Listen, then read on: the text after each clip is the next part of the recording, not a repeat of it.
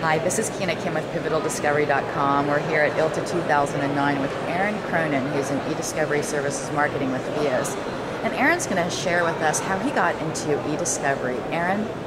Thanks, Kina. Um, eDiscovery is actually a, a, natural fit for my background. Um, I'm an attorney. I spent six years in litigation out of law school, had a real interest in technology.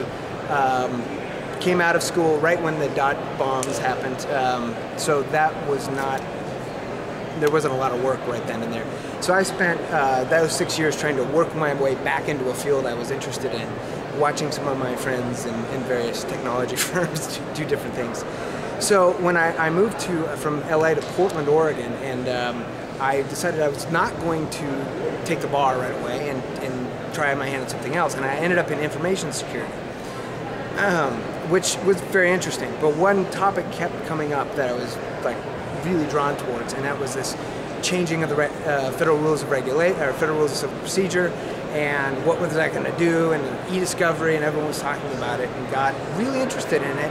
And I think what it is is that it's it's three points that I'm interested in. Um, it's the combination of law, technology, and business, and how they all come together. And it's just it's the first time I think in my career I really like glommed onto something that I found interesting. And so I finally decided, okay, I'm going to take the bar last year and studied all summer for it, take the bar, and I got a notification. Somebody told me that Fios uh, was one of the top providers, happened to be in Portland, Oregon, which I did not expect to find. So I just um, got, touched a couple points in there and ended up uh, getting introduced to Mary Mack, who's fantastic. If anybody watches our webcast, she's she's the guru. So she's been she's been amazing. So they had a, a need and, and, brought me on, and I've been there a year since. So it's been great. Great. Well, thank you so much for joining us, Aaron. Thank you.